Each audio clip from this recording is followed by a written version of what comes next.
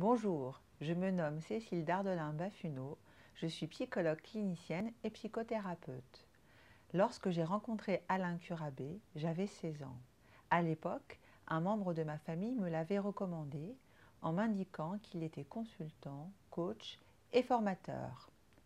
Lors du premier entretien, il m'a conseillé d'acquérir avant tout de la culture. J'ai suivi avec lui des formations en histoire de l'art, puis sur les contes, les mythes, les textes sacrés, les structures narratives et le cinéma.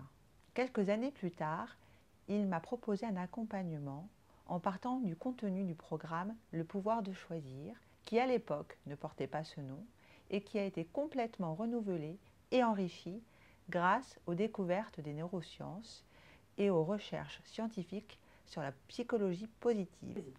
J'ai acquis, grâce à l'intégration des éléments de ce programme, une plus grande confiance en moi et en mes capacités et plus de détermination. J'ai ensuite décidé de faire des études de psychologie. Depuis septembre 2005, je suis psychologue clinicienne.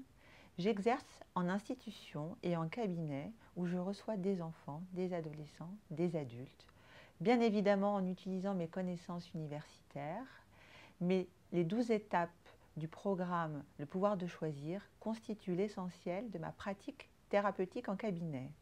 Depuis 2016, je fais partie de l'équipe d'experts du cabinet Ressources et compétences et je suis responsable du pôle psychologie.